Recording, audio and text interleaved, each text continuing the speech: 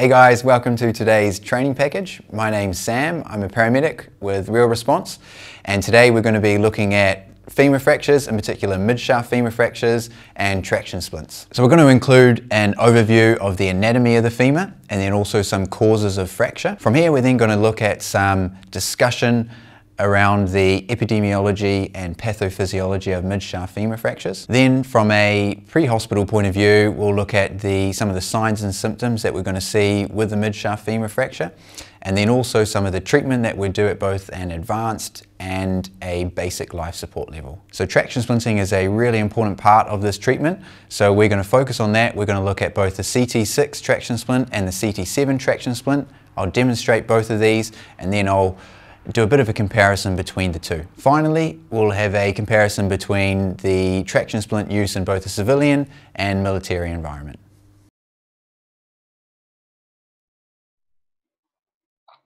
If we look at the anatomy of the femur now, the bone is located in each thigh of the body.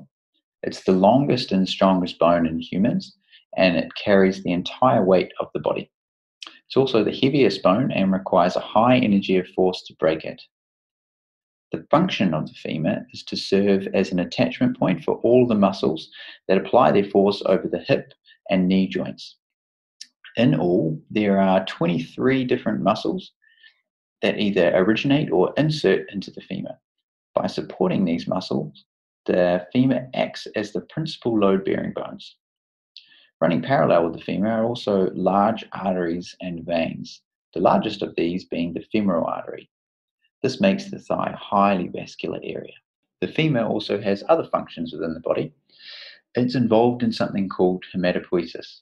This is the formation of blood cellular components. So within the femur, there is its narrow shaft, and inside that is bone marrow. And so in this bone marrow, it contains stem cells and these contribute to the production of blood cells.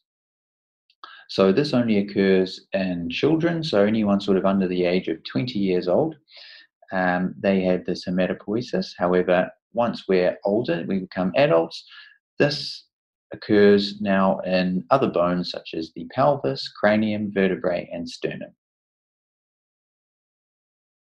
If we look at now how femur fractures occur, they result from a significant force is typically sustained from high impact trauma.